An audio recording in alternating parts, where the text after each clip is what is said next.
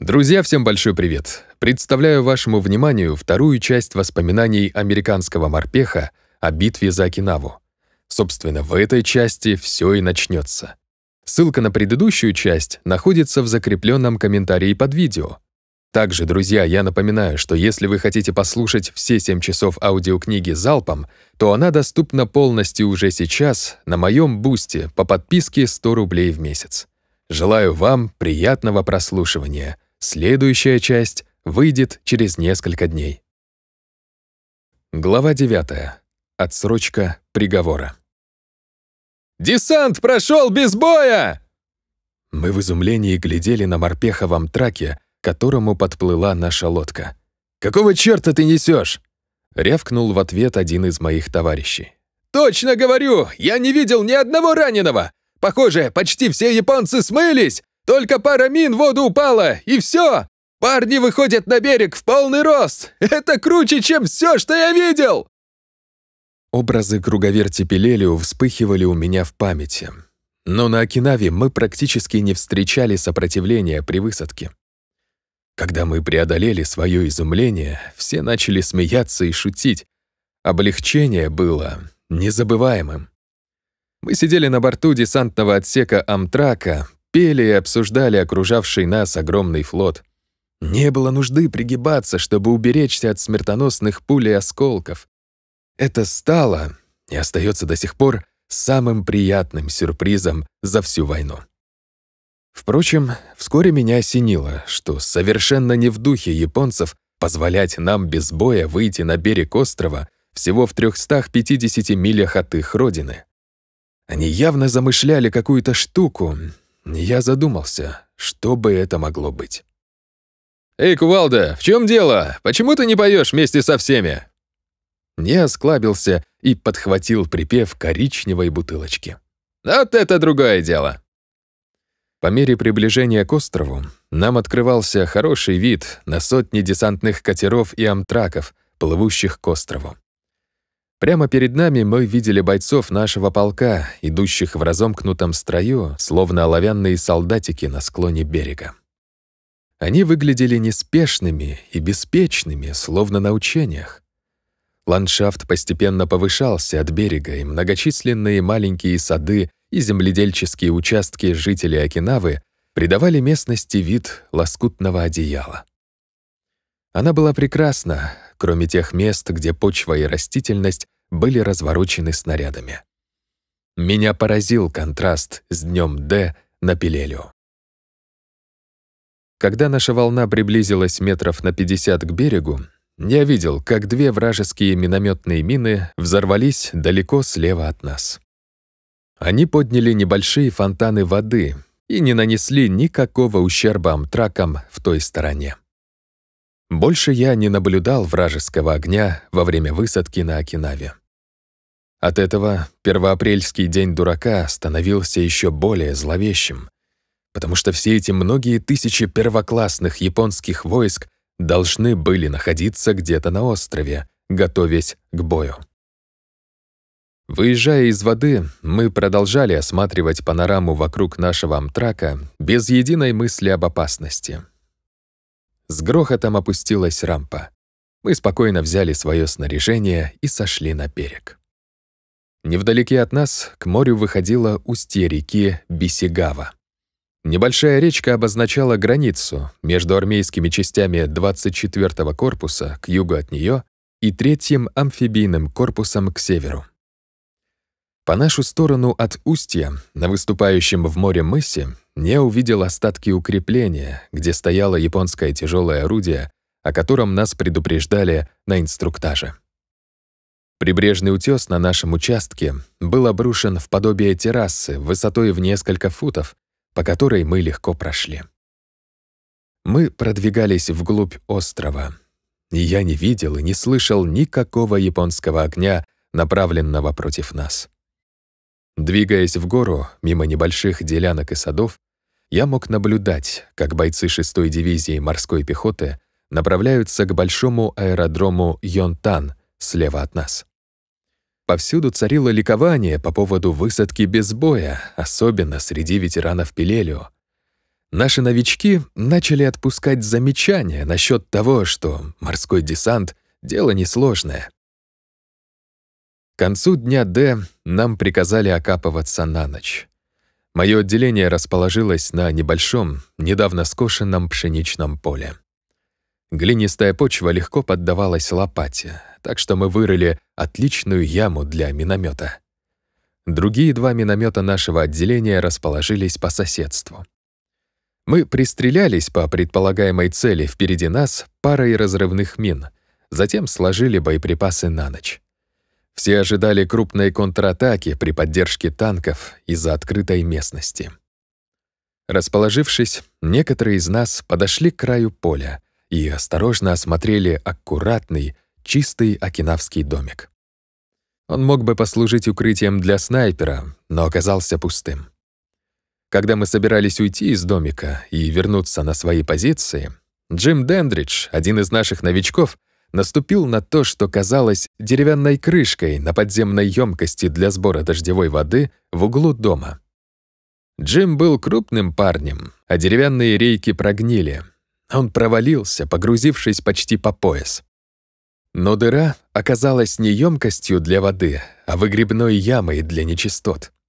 Когда Джим выкарабкался наверх, он ревел словно бешеный бык и вонял еще хуже. Мы знали, что, возможно, пройдут недели, прежде чем мы получим смену форменной одежды. Так что тут не было повода смеяться над Джимом. Но все равно мы начали безжалостно над ним подшучивать насчет его странных пристрастий в выборе места для купания. Джим был добродушным парнем, но его терпение вскоре закончилось, и он погнался за парой наших через поле в сторону позиций. Они хохотали, но сумели от него сбежать. Едва мы вернулись на позиции, как услышали легко узнаваемое жужжание японского авиамотора. Мы подняли глаза вверх и увидели Зеро, летящий прямо на нас. Истребитель летел высоко, и пилот, по-видимому, наметил добычу покрупнее, чем мы. Несколько кораблей открыли яростный огонь, а самолет сделал неспешный круг и затем спикировал. Мотор самолета взвыл с нарастающей силой, когда пилот Камикадзе направился прямо вниз к одному из транспортов. Мы увидели белый дым, когда он поразил корабль, но это случилось слишком далеко, чтобы мы смогли понять, какой ущерб он нанес. Войска к этому времени уже высадились, но корабельному экипажу, должно быть, пришлось несладко. Это был первый раз, когда я увидел камикадзе, атакующего корабль, но не последний. В спускающихся сумерках мы переключили внимание на наше непосредственное окружение и стали готовиться к ночи. Каждому из нас ранее выдали по маленькой бутылочке, содержащей несколько унций бренди, чтобы противостоять ночному холоду после дня Т.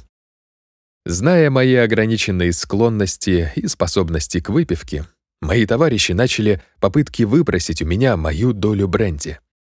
Но после захода солнца я так замерз и подумал, что, возможно, бренди меня немного согреет. Я сделал глоточек и немедленно заключил, что индейцы, говоря об огненной воде, определенно имели в виду бренди. Я сменял свой бренди на банку персиков, а затем вытащил полевую куртку на шерстяной подкладке и надел ее. В ней было в самый раз. В течение ясной, холодной ночи мы ждали японской атаки. Но все было тихо. Никакого артиллерийского огня, изредка ружейная или пулеметная стрельба. Разительный контраст с грохочущим, сокрушительным хаосом в день Д на Пелелю. Когда около полуночи Снафу разбудил меня, потому что настала моя очередь нести вахту, он вручил мне наш автомат Томми. Я не помню, как, где и когда мы раздобыли Томми Ган, но Снафу и я по очереди носили его и миномет на Пилелию и Окинаве. Пистолет был отличной штукой, но только на короткой дистанции, так что мы очень ценили наш Томми. Через несколько минут на вахте я заметил что-то, что показалось мне человеком, крадущимся по краю тени, отбрасываемой деревьями. Я напрягал глаза, смотрел боковым зрением, вертел глазами туда и сюда, но не мог наверняка опознать в темном объекте человека. Чем усерднее я всматривался, тем больше я был уверен. Мне показалось, что я могу различить японское форменное кепи. Это не был морпех, потому что никто из наших не размещался там, где находилась эта фигура. Это, по-видимому, был вражеский лазутчик, поджидающий своих товарищей для сбора перед нападением. Я не мог быть уверен в призрачном свете, стрелять или рискнуть. Мои зубы начали стучать от холода и нервов. Я медленно поднял Томми, поставил переключатель на автоматический огонь и тщательно прицелился в нижнюю часть фигуры, чтобы не стрелять поверх цели, когда Томми даст отдачу. Я нажал на спуск и выпустил короткую очередь из нескольких пуль.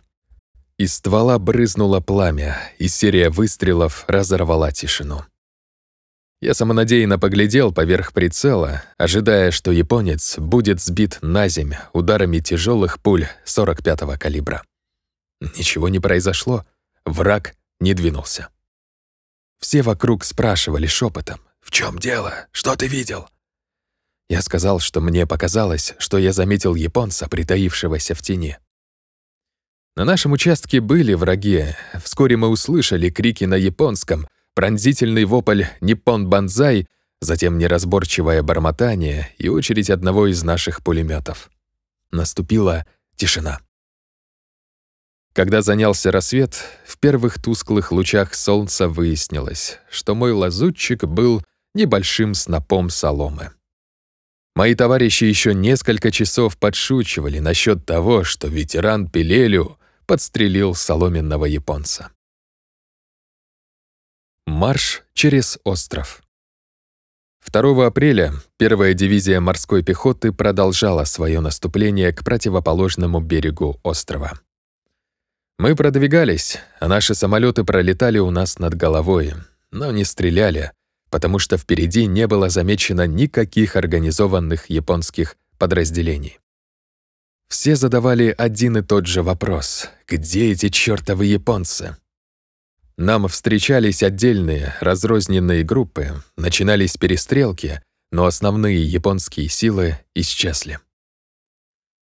Утром я увидел двух мертвых японских солдат, которые, по-видимому, были наблюдателями и сидели на большом, безлистном дереве, когда их убило подготовительным артиллерийским огнем. Один из них повис, зацепившись за сук. Его внутренности висели на ветках вокруг, словно гирлянды на рождественской елке. Другой солдат лежал под деревом. Ему оторвало ногу, которая лежала с другой стороны дерева, а гетра и штанина были по-прежнему аккуратно надеты на нее. Помимо их обезображенного состояния, я отметил, что оба солдата были обуты в высокие кожаные ботинки, подбитые гвоздями. Это был первый раз, когда я увидел у японцев обувь такого типа. Все враги, что я видел на Пелелио, носили брезентовые таби на резиновой подошве с отделенным большим пальцем. Нам встречались окинавцы, преимущественно старики, женщины и дети. Японцы завербовали всех молодых мужчин в рабочие, а некоторых — в солдаты, так что мы их почти не видели. Мы отправляли гражданских в тыл, где их помещали в лагеря для интернированных, чтобы они не могли помогать врагу. Это были первые гражданские, что я встретил в зоне боевых действий. Они выглядели жалко. Самое прискорбное в окинавцах было то, что они были совершенно ошарашены нашим вторжением и боялись нас до смерти. Бесчисленное множество раз они проходили мимо нас в тыл со страхом, смятением и замешательством на лицах. Почти все дети были миловидными, с живыми лицами. У них были круглые мордочки и темные глаза. У мальчиков волосы были коротко обрезаны, а у девочек их блестящие угольно черные локоны были подстрижены в каре по тогдашней японской детской моде. Дети завоевали наши сердца. Почти все у нас отдавали им все конфеты и пайки, что нам удалось сэкономить. Они быстрее избавлялись от страха перед нами, чем старшие люди, и доставили нам немало поводов для смеха. Один из самых забавных эпизодов, что мне довелось наблюдать, состоялся при участии двух окинавских женщин и их маленьких детей. Нам приказали остановить движение и взять десяточку, сделать десятиминутный привал, прежде чем продолжить наше скоростное продвижение к противоположному берегу острова. Мое отделение остановилось возле типичного окинавского колодца, построенного из камня и имеющего форму водоема примерно двух футов глубиной и четырех футов в поперечнике. Вода стекала, журча с каменистого склона.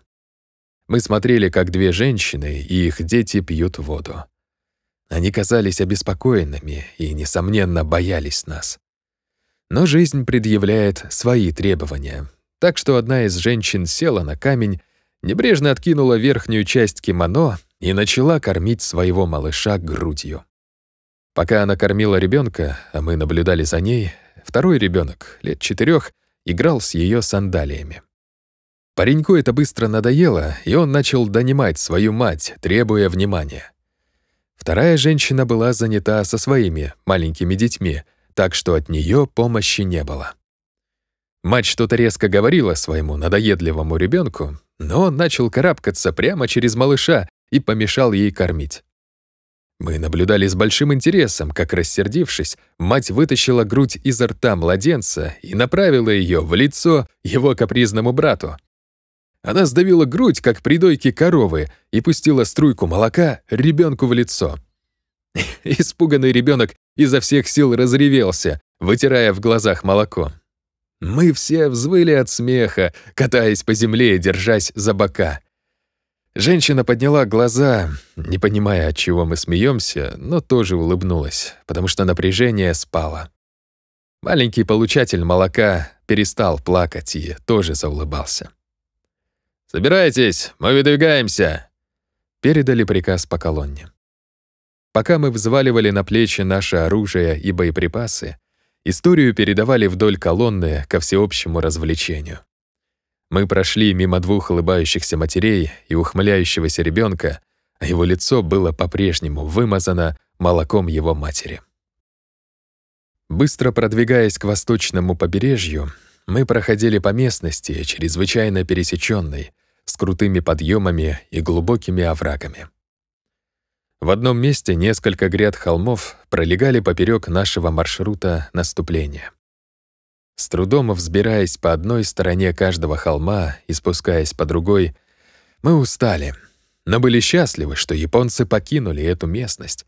Она идеально подходила для обороны. Во время другого привала мы потратили весь отдых, спасая окинавскую лошадь. Животное застряло в узкой затопленной дренажной канаве, футов четырех глубиной.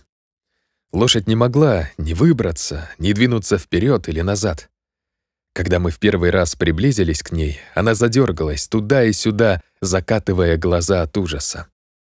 Мы успокоили ее, подсунули пару пустых пулеметных лент ей под брюхо и вытянули ее из канавы. Потому что уроженцы Техаса и любители лошадей сбежались со всего батальона, протянувшегося по долине и окружающим ее холмам. Городские смотрели и подавали бесполезные советы. Когда мы вытянули лошадку из канавы, она стояла на неверных ногах, пока с нее стекала вода. Затем встряхнулась и направилась к травяной лужайке. Едва мы успели смыть грязь с пулеметных лент, как нам передали приказ двигаться дальше. Мы не успели отдохнуть на том привале и устали, но были довольны, зная, что маленькая лошадка не погибнет от голода, увязнув в канаве. Прохладная и ясная погода смягчала наше продвижение по пересеченной местности. Те из нас, что имели опыт службы в тропиках, чувствовали себя так, как будто прибыли из парной. Холмы и горы на Окинаве были преимущественно глинистыми, но сухими, и мы не скользили и не падали с нашим тяжелым грузом. Повсюду росли сосны. Я и забыл, какой восхитительный аромат издают сосновые иглы. Также мы видели цветущие лилии.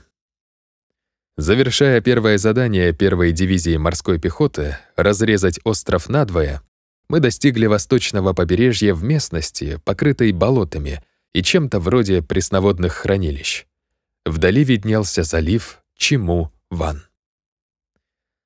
Мы прибыли днем 4 апреля, опережая график на 8-13 дней.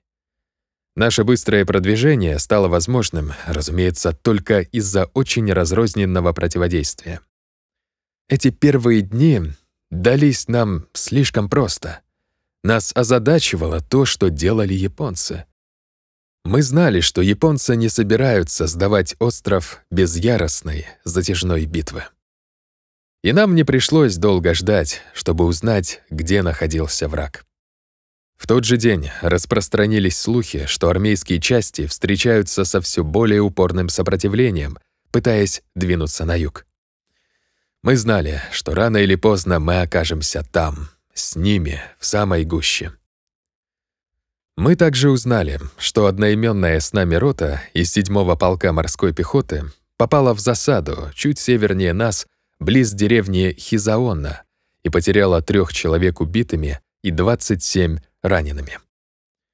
Таким образом, несмотря на относительную легкость, с которой наша дивизия прошла через середину острова, Японцы по-прежнему были там и по-прежнему наносили потери морской пехоте. Патрули. Едва мы прибыли на побережье залива Чиму-Ван, как получили приказ выходить. Мы направились вглубь острова, в местность, изобилующую небольшими долинами и крутыми холмами, где мы расположились удобным лагерем и поставили двухместные палатки. Это больше походило на учение, чем на войну. Мы даже не рыли ячейки. На западе виднелся вдали аэродром Йонтан. Первый раз за те пять дней, что прошли с высадки, пошел дождь. На следующий день наша рота начала патрулировать территорию вокруг нашего лагеря. Нам не нужны были минометы из-за рассеянного характера вражеского сопротивления. Сложив минометы в палатке, чтобы уберечь их от непогоды, наши минометчики служили в патрулях стрелками.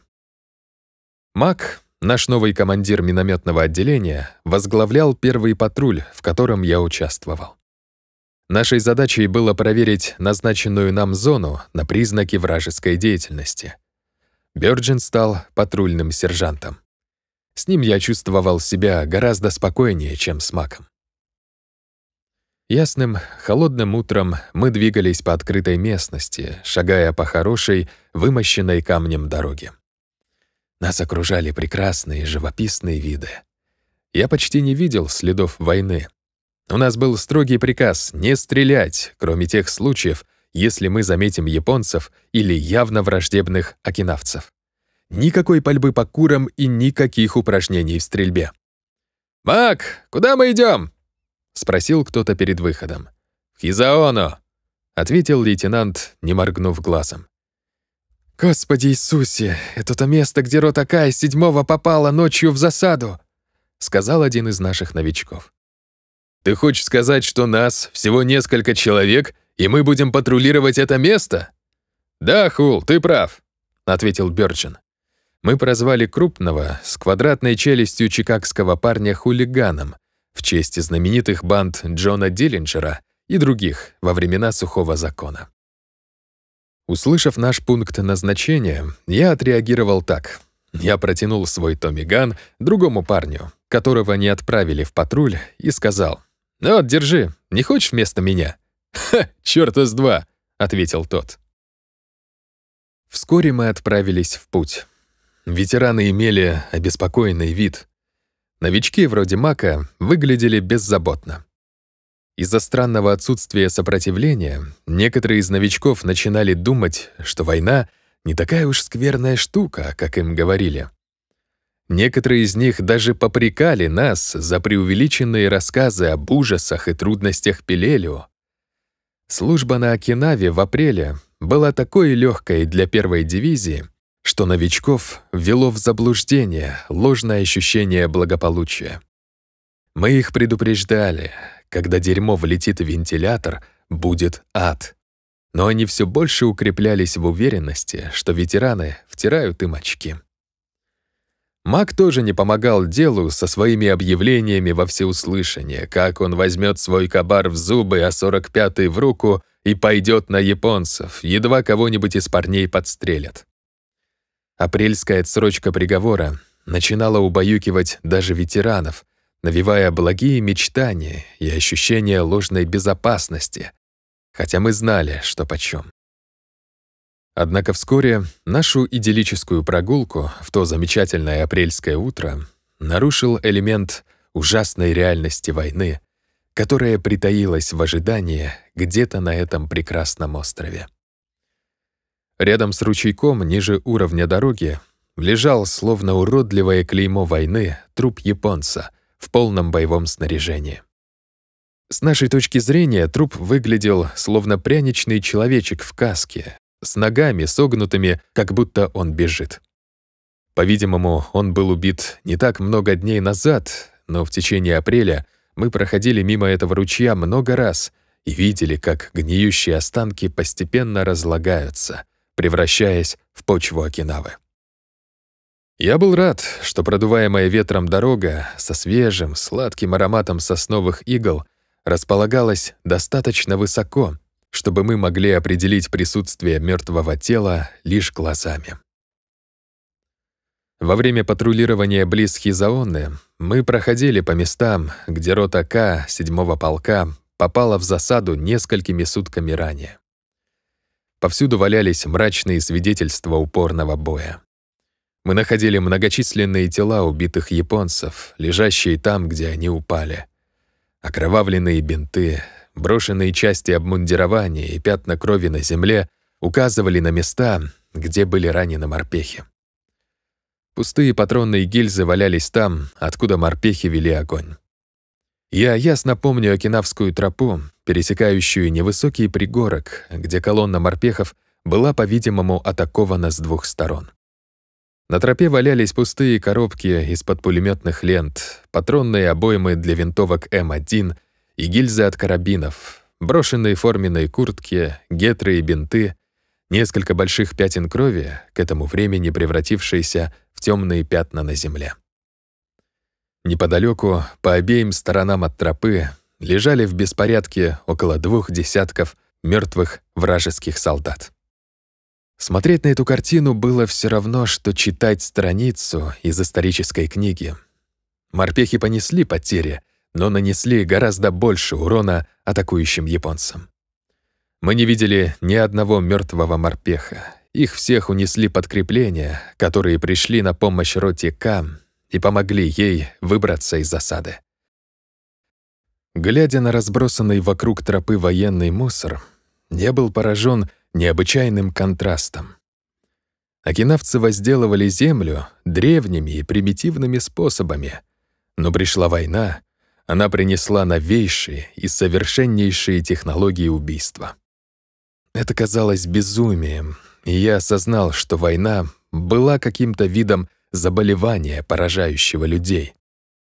Благодаря своему опыту на Пелелио я бессознательно начал ассоциировать войну с удушающе жаркими, выметенными огнем берегами, душными мангровыми болотами и грубыми, зазубренными коралловыми кряжами.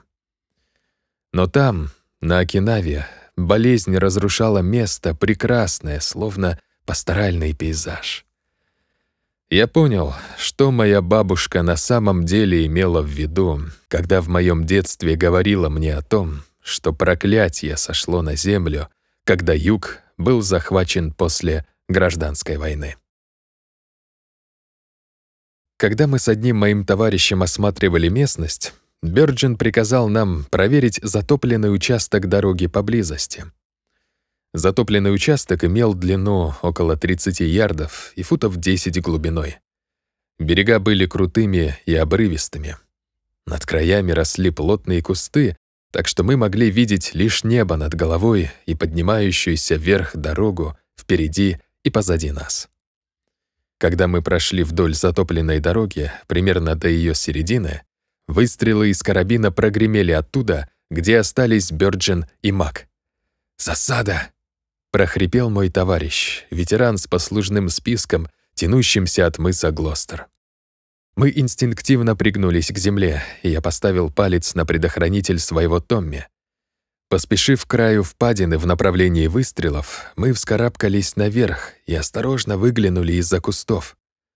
Мы оба знали, что у нас не было ни шанса, если бы нас прижали в этой похожей на канаву дороге, где нас можно было подстрелить сверху. Мое сердце колотилось, и, выглядывая, я чувствовал себя ужасно одиноким. Макс стоял там, где мы его оставили, посередине пастбища, спокойно целясь из карабина куда-то себе под ноги, в какой-то предмет, которого нам не было видно. Мы с моим товарищем переглянулись в изумлении. «Какого чёрта?» — прошептал он. Мы выбрались из затопленной дороги и направились к Маку, который снова выстрелил из карабина в землю. Остальные участники патруля с опаской сбегались к нам, они выглядели испуганными, полагая, что мы попали в засаду.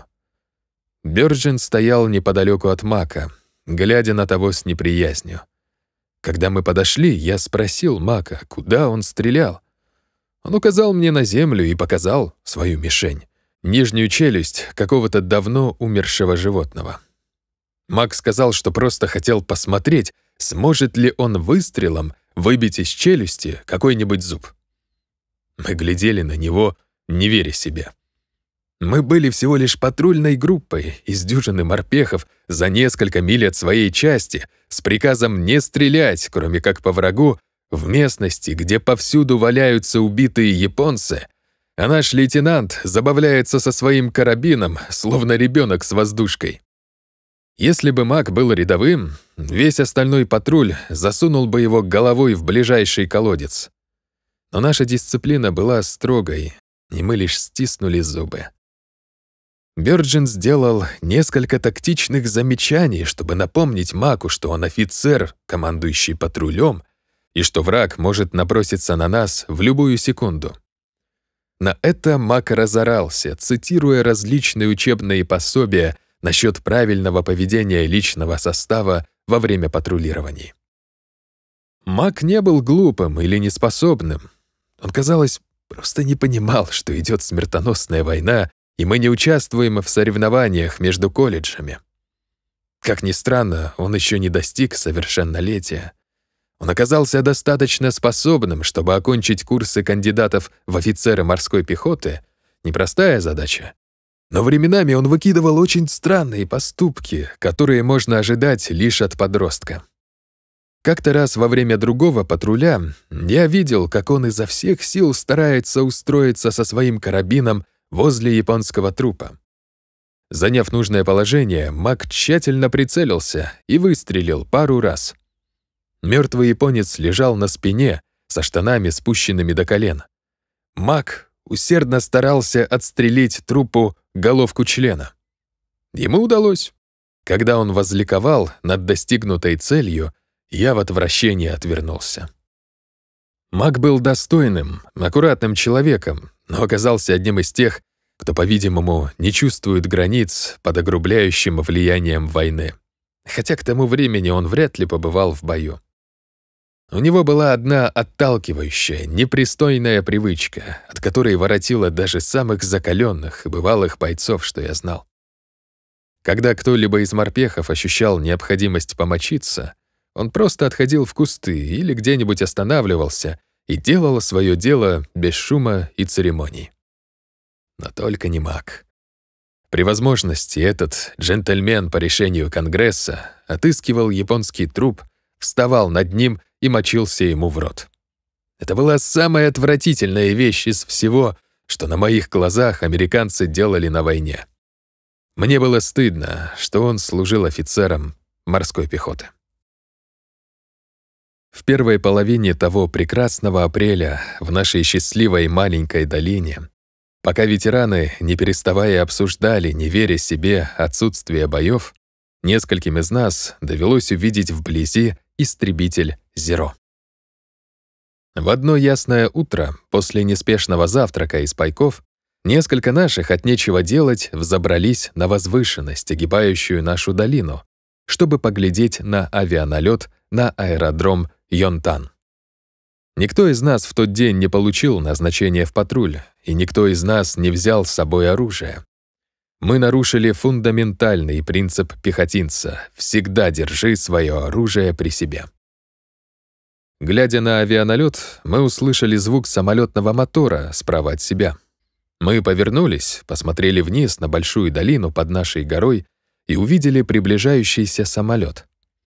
Это был Зеро, летящий над долиной к нам, параллельно нашей горе и на ее уровне. Он двигался так медленно, что казался ненастоящим. Безоружные мы глазели на него, словно зрители на проходящий мимо парад. Он находился от нас не более чем в 30-40 ярдах. Мы могли разглядеть каждую деталь самолета и пилота, сидящего в кабине под колпаком. Он повернул голову и пристально посмотрел на нашу маленькую компанию, разглядывающую его. На голове у него был кожаный летный шлем, очки сдвинуты на лоб, куртка и шарф на шее. В тот миг, когда пилот Зеро увидел нас, его лицо исказило самая злобная ухмылка, что я когда-либо видел.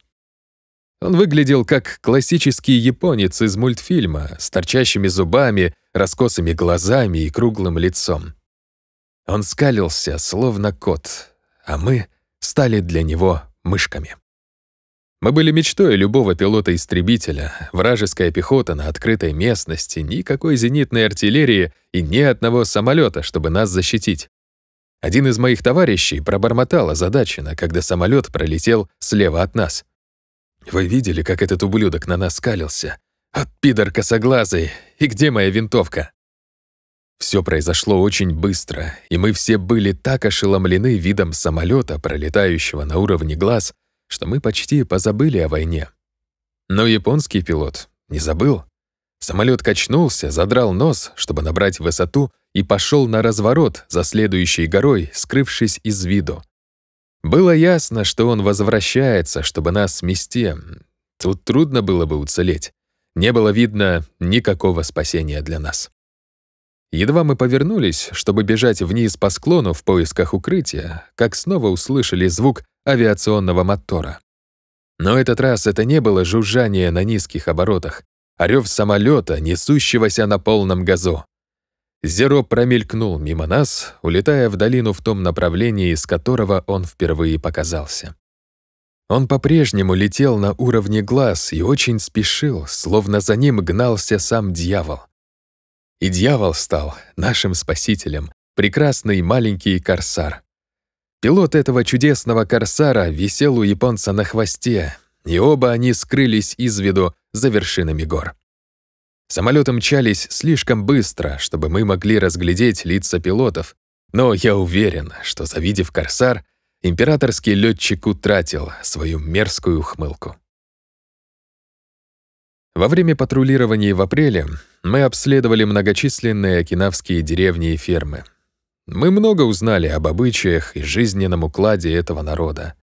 Особенно симпатичными мне показались окинавские лошади — прямо как мохнатые крупные пони. Окинавцы использовали узду такой конструкции, какой я раньше никогда не видел. Она состояла из двух кусочков дерева, удерживаемых на месте веревками. Деревяшки, размещенные по обеим сторонам конской морды, имели форму буквы «F». Они были вырезаны из тонкого лакнистого коричневого дерева и имели толщину примерно с большой палец взрослого человека. Короткий кусок веревки скреплял деревяшки спереди, а веревка поверх головы животного удерживала их на месте по бокам, чуть выше углов рта. Две короткие веревки в задней части деревяшек сливались в одну. Когда кто-то тянул за эту единую веревку, деревяшки мягко сжимались по бокам конской морды над ртом, и животное останавливалось. Это устройство представляло собой комбинацию узды и поводьев, без необходимости в уделах во рту лошади. Меня так заинтересовала окинавская узда, что я снял одну такую с лошади, которая была у нас несколько дней, и заменил ее веревочными поводьями. Я намеревался послать деревянную узду домой. Я помню, что Яркий кусок красной веревки соединял передние концы деревянных деталей и положил ее себе в рюкзак. Однако после 1 мая становилось все более сомнительно, что я вообще когда-нибудь попаду домой. А мое снаряжение становилось все более тяжелым по мере того, как грязь становилась глубже. К сожалению, я выбросил узду. Мы здорово привязались к лошади, которую подобрало наше отделение, и она, похоже, не возражала, когда мы взвалили ей на спину пару сумок с минами для миномета. Когда в конце апреля подошло время расставаться с нашей маленькой лошадкой, я снял веревочную издечку и дал лошади кусок пайкового сахара. Я гладил ее мягкую морду, пока она отгоняла хвостом мух. Она повернулась, выбежала на травяной лужок и принялась щипать травку. Напоследок она искоса посмотрела на меня. Мои глаза увлажнились. Однако, как ни горько мне было расставаться с ней, это было к лучшему. Ей предстояло жить в мире и безопасности на склонах этого зеленого, залитого солнцем холма. Мы, будучи цивилизованными людьми, были обязаны вскоре вернуться в хаос преисподней со снарядами, пулями, страданиями и смертью. Все чаще слышались скверные слухи о трудностях, с которыми столкнулись армейские части на юге Окинавы. По ночам с нашей возвышенности я видел вспыхивающий и мерцающий свет на южном горизонте. Иногда доносился едва слышный грохот. Никто об этом особо не говорил. Я безуспешно пытался убедить себя, что это просто гроза, но я знал, что это. Это были вспышки выстрелов и рев орудий. Удачный десант. 13 апреля, в США было 12 апреля, мы узнали о смерти президента Рузвельта. Ничуть не интересующиеся политикой, бьющиеся за свою жизнь, мы, тем не менее, были огорчены смертью нашего президента. Мы также с любопытством и опаской ожидали, как преемник Рузвельта, Гарри Труман, будет вести войну. Нам определенно не хотелось видеть в Белом доме кого-то, кто продлил бы ее хоть на день больше необходимого. Вскоре после новости о смерти Рузвельта нам сказали готовиться к выходу. Среди личного состава росли опасения. Мы подумали, что приказ означает неизбежное попадание в ад на юге. Но это, напротив, оказалась десантная операция на один из восточных островов. Мы узнали, что роте К предстоит высадиться на острове Такабанаре, и что там может не оказаться ни одного японца. Мы были настроены в высшей степени скептически. Но до того времени Окинава была для нас странной битвой, и могло произойти все, что угодно. Наш батальон погрузился на грузовики и направился к восточному берегу. Мы сели в Амтраке и двинулись в залив Чимуван в короткое путешествие на Такабанаре. Остальные роты нашего батальона выдвинулись к другим островам из этой группы. Мы высадились, не встретив сопротивления, на узком, чистом песчаном берегу с огромным скальным массивом слева от нас. Скалистый утес выглядел скверным предзнаменованием. Но он был господствующей высотой, с которой фланговый огонь мог бы прочесать весь берег. Но все сложилось благополучно, и мы быстро прошли весь остров, не встретив ни одного вражеского солдата. После того, как мы пересекли остров и ничего не нашли, кроме нескольких гражданских, мы вернулись к месту высадки и заняли оборонительные позиции. Мое отделение расположилось на склоне крутого скалистого холма, с которого открывался вид на берег. Наш миномет удачно разместился среди камней, так что мы могли обстреливать берег и подходы к нему со стороны залива. Небольшой эскортный миноносец стоял на якоре у подножия скалы. Корабль стоял там во время нашей высадки и оставался в те несколько дней, что мы провели на Такабанаре. Мы чувствовали себя важными персонами, как будто у нас был свой собственный флот. Погода стояла хорошая, так что приятно было спать на открытом воздухе. У нас почти не было никаких заданий, кроме как быть наготове для отражения возможных вражеских попыток занять остров. Я писал письма, читал и обследовал местность вокруг наших позиций. Некоторые морпехи доплывали до корабля и поднимались на борт, где моряки встречали их, угощали горячей едой и давали сколько угодно горячего кофе. Мне достаточно было валяться под солнцем на прохладном воздухе и есть пайки. Мы покинули Такабанары через несколько дней и вернулись в наш лагерь на Окинаве. Там мы продолжили патрулирование острова. Чем ближе был конец апреля, тем чаще слышались слухи и скверные новости о ситуации, в которой очутились армейские части. Повсюду звучали разговоры о нашей отправке туда. Наш страх нарастал с каждым днем, и, наконец, мы получили приказ 1 мая двигаться на юг, чтобы сменить 27-ю пехотную дивизию на правом фланге 10-й армии. В последние дни апреля некоторые наши офицеры и унтеры съездили на юг, чтобы оценить боевые позиции, которые нам предстояло занять. Они подробно рассказали нам все, что видели, и это звучало не особо многообещающе. Там, парни, дерьмо влетело в вентилятор. Японцы лупят из пушек из минометов и из всего, что у них есть, сказал бывалый сержант. Парни, они палят из ножных минометов так же часто и густо, как мы стреляем из М1. С нами провели инструктажи, выдали патроны и пайки и сказали собирать снаряжение. Мы скатали половинки палаток и упаковали вещи, чтобы оставить их в батальонной коптерке. 1 мая выдалось пасмурным и холодным. Мы, несколько минометчиков, развели костерок во впадине на склоне холма, чтобы согреться. Из-за мрачной погоды и приближающейся отправки на юг мы все были подавлены. Мы стояли вокруг костра, доедая последний завтрак, прежде чем отправиться на юг. Огонь весело потрескивал и приятно пахло кофе. Я нервничал, и мне страшно не хотелось покидать нашу маленькую долину. Мы побросали наши последние коробки и обертки в огонь.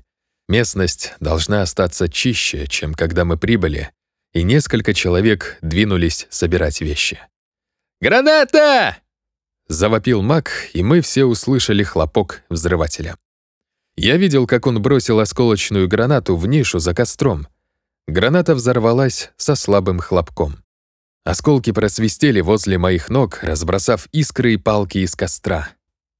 Мы все были ошеломлены, и не в последнюю очередь сам маг. Но никого не задело. Я едва не получил ранение на миллион долларов. Это было бы божьим благословением в свете того, что ожидало нас впереди. Бойцы, которые как раз отходили от огня, должны были быть неминуемо ранены, потому что они стояли прямо напротив ниши. Все взгляды обратились к нашему неутомимому лейтенанту. Он покраснел и бормотал что-то нескладное насчет того, что вышла ошибка. Мак решил, что прежде чем мы пойдем к грузовикам, было бы весело нас разыграть. Так что он устроил хорошо всем знакомый номер. Выковырял заряд взрывчатки из осколочной гранаты, вкрутил взрыватель обратно в пустую лимонку и подбросил ее в середину группы людей. Обычно после хлопка взрывателя шутник с садистским наслаждением мог поглядеть, как все бросаются в укрытие, ожидая, что сейчас запал прогорит и граната взорвется. По его собственному признанию, маг оказался недостаточно аккуратным. Большая часть заряда осталась в гранате, он выковырил его лишь частично. Как следствие, граната взорвалась с изрядной силой и разбросала вокруг осколки. К счастью, маг бросил гранату в выемку на склоне. Если бы он бросил ее на открытое место, большая часть минометного отделения роты К была бы выведена из строя своим собственным лейтенантом еще до того, как мы добрались до юга. Маку повезло, что командир роты не видел его дурацкой шутки. К сожалению для нас. Хорошее начало для очередной битвы. Глава десятая в бездну. Мы погрузились на грузовики и поехали по пыльной дороге на юг. В этой центральной части Окинавы мы сначала проезжали многочисленные лагеря войск обслуживания и огромные склады вооружений и припасов, покрытые камуфляжной сеткой. Затем мы проехали несколько артиллерийских позиций. По кучам пустых гильз мы поняли, что стрелять им пришлось немало. А по многочисленным воронкам, выбитым в полевой траве, можно было судить, что японцы вели обильный контрбатарейный огонь. В каком-то безымянном месте мы остановились и сошли с грузовиков. Меня наполнял страх. Мы выстроились в одну колонну по правой стороне узкой коралловой дороги и пошли на юг. Впереди мы слышали гром и грохот вражеских снарядов и мин, треск пулеметов и хлопки винтовок. Наши собственные снаряды со свистом пролетали на юг. «Соблюдай дистанцию в пять шагов!» — пришел приказ. Мы шли молча. Каждый был наедине со своими мыслями. Вскоре нам встретилась колонна людей, идущая нам навстречу по другой стороне дороги. Это была армейская пехота из 106-го полка 27-й пехотной дивизии, которую мы сменяли. Скорбные выражения их лиц говорили о том, где они побывали.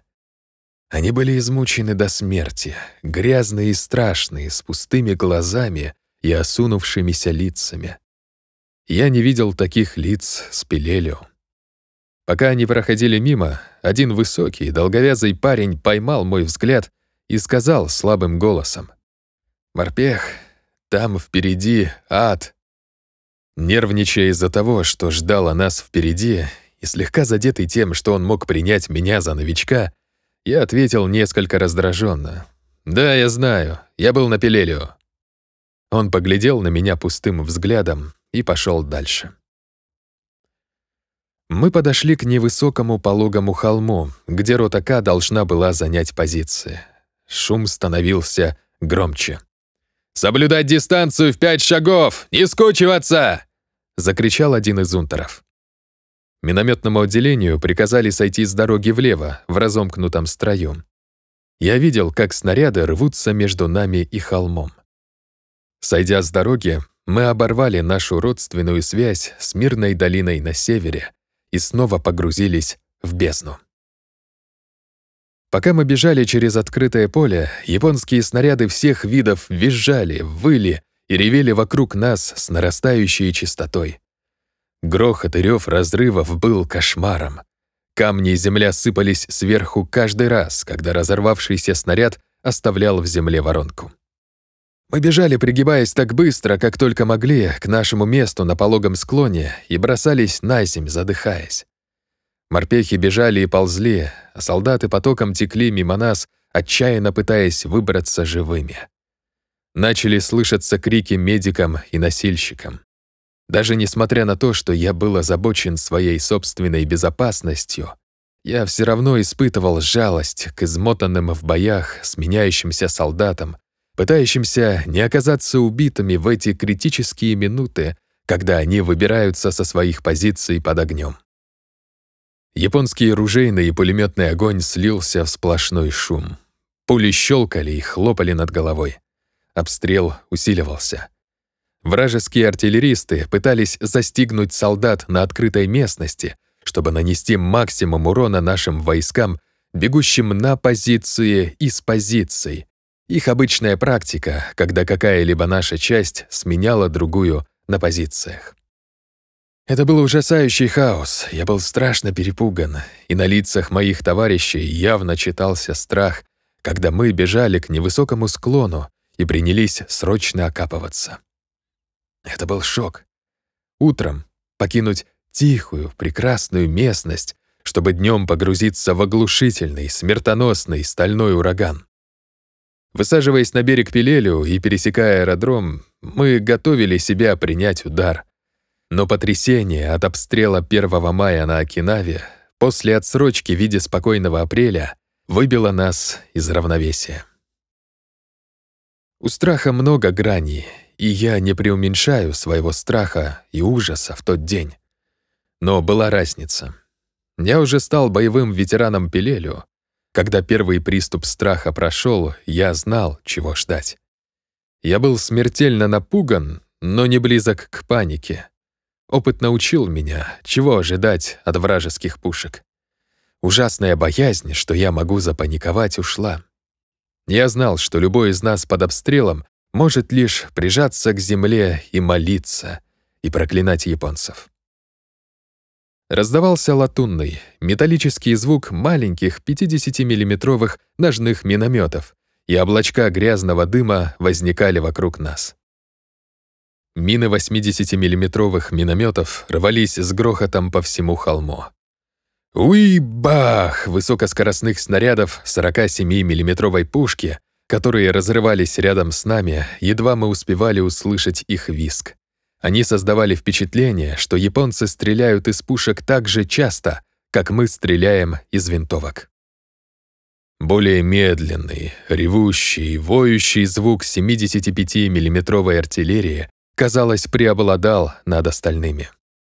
Но затем слышался рев и грохот огромных вражеских 150 миллиметровых гаубичных снарядов и бубух от их разрывов.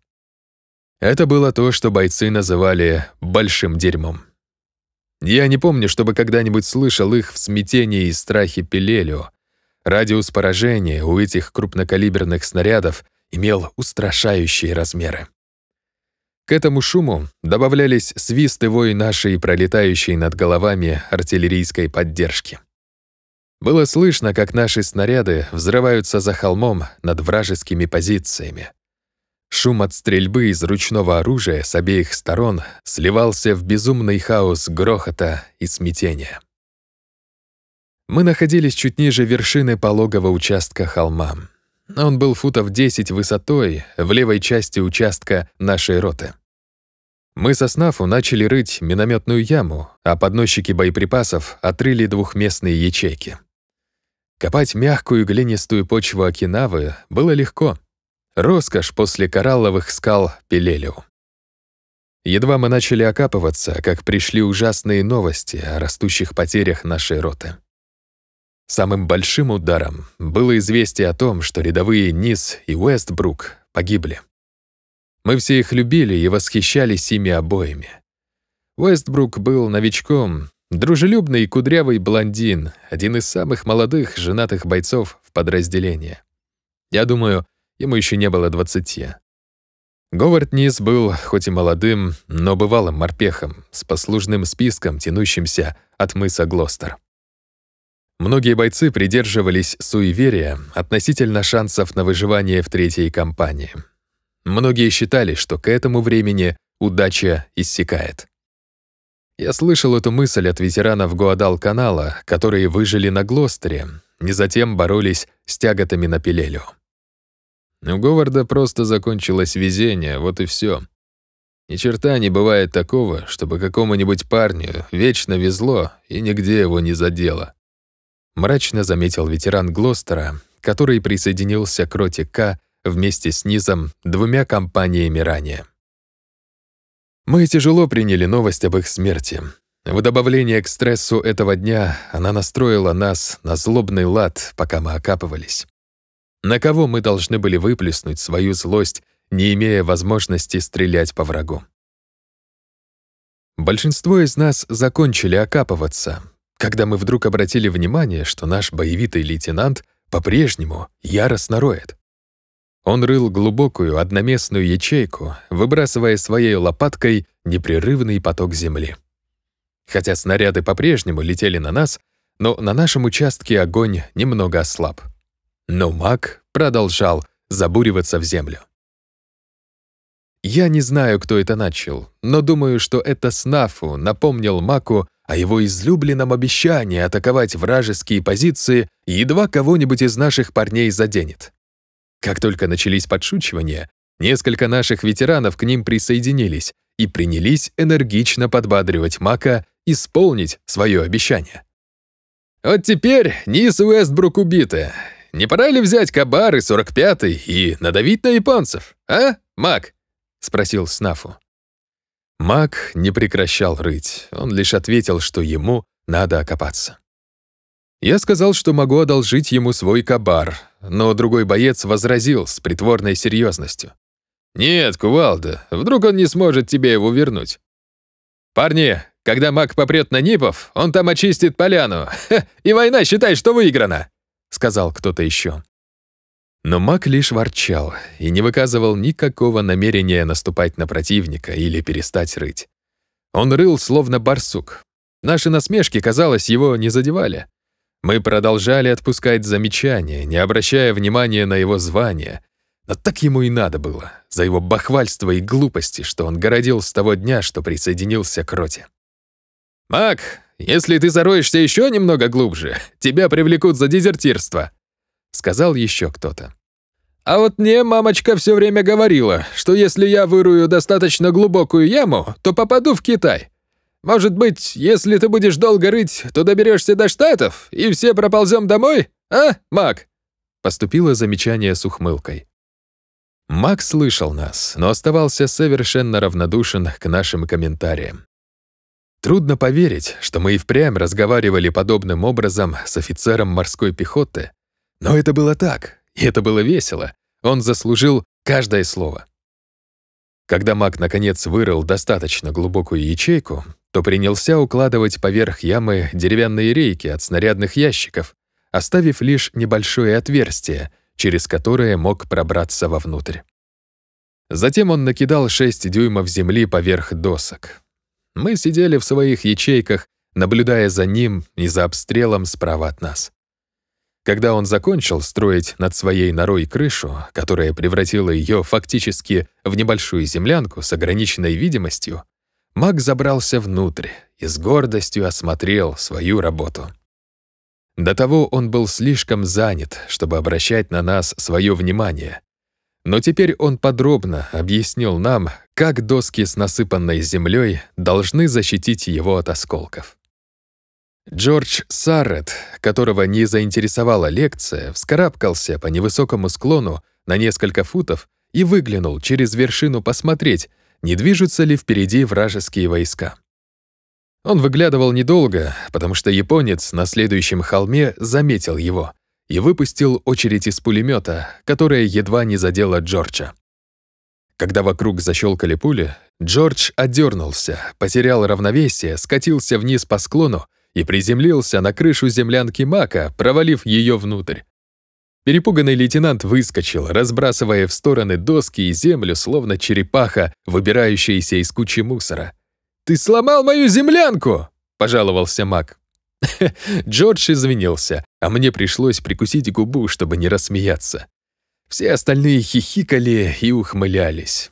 Мы больше никогда не слышали от Мака ничего насчет натиска на японцев с кабаром и пистолетом 45-го калибра.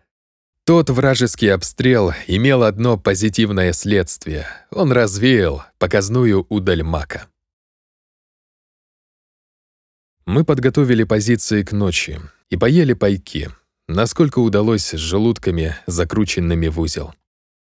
До нас доходили новые подробности о потере Низа, Уэстбрука и других убитых и раненых.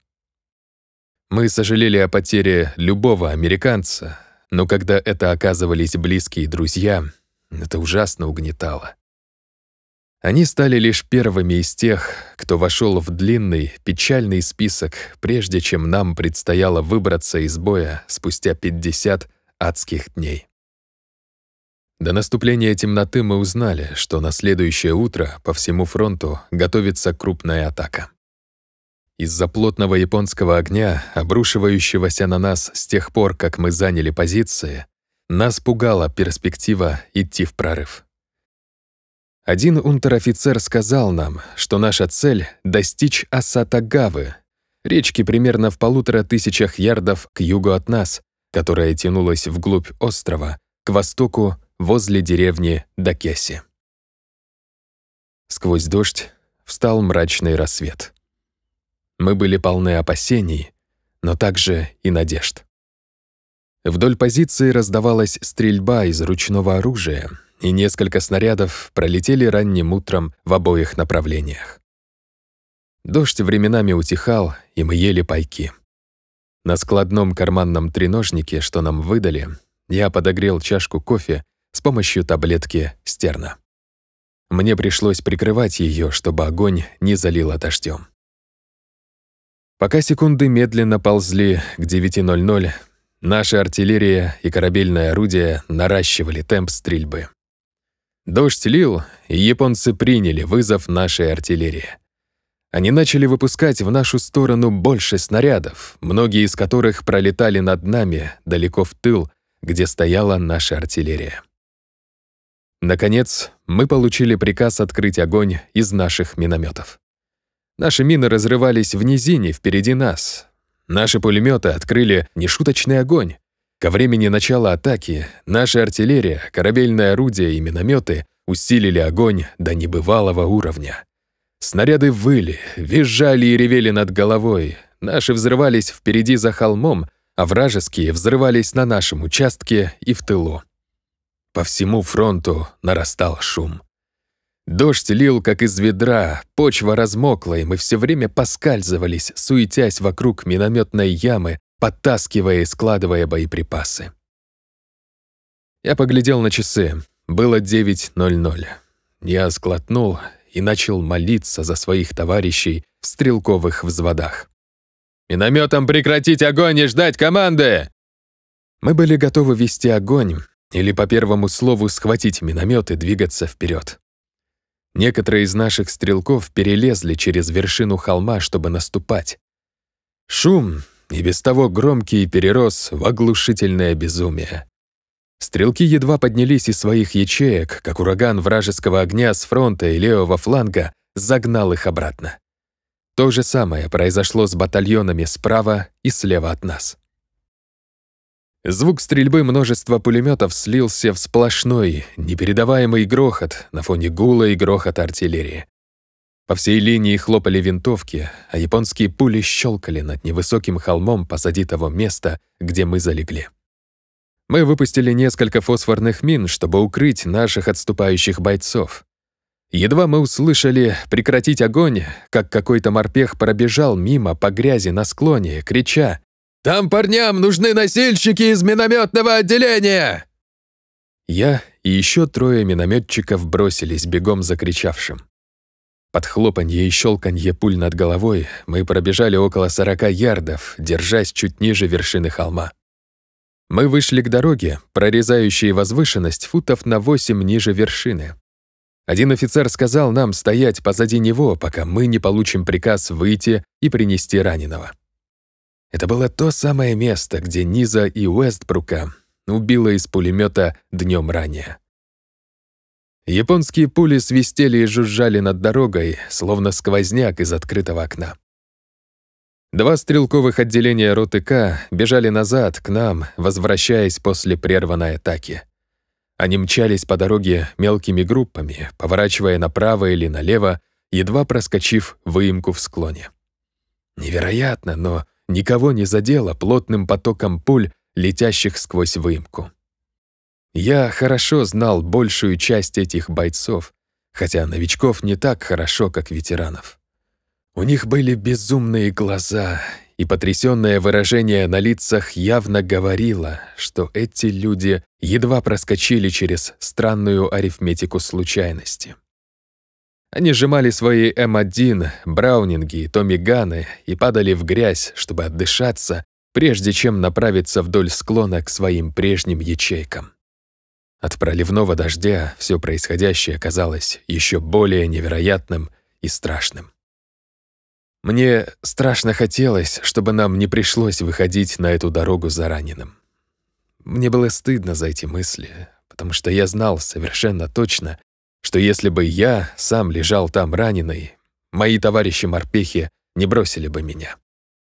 Но я не видел способа кому-либо пройти туда и вернуться под столь интенсивным огнем, поскольку большая часть наших войск уже вернулась, японцы могли сосредоточить свой огонь на носильщиках и раненых, как я уже видел на Пелелио. Они не давали никакой пощады медицинскому персоналу. Сержант-комендор нашей роты, Хэнк Бояс, был последним, кто проскочил через выемку. Он наскоро пересчитал бойцов и объявил, к моему глубочайшему облегчению, что все сумели выбраться. Раненых принесли на другом участке фронта, где пулеметный огонь был не таким плотным. Боэс был потрясающим человеком. Он кинулся вперед к бойцам, прижатым огнем к земле, и бросил несколько дымовых гранат, чтобы прикрыть их от японского огня. Он вернулся с дыркой от пули в своем форменном кепе, он не носил каски, и еще одной в штанине. Его ранило в ногу осколками от мины из японского ножного миномета, но он отказался покинуть строй. Офицер сказал нам, что мы не потребуемся как носильщики и можем возвращаться на свои места. Когда мы бегом бросились к своим минометным ямам, снаряды продолжали свое плотное движение туда и сюда, но поток пуль ослаб после того, как все наши бойцы укрылись за холмом.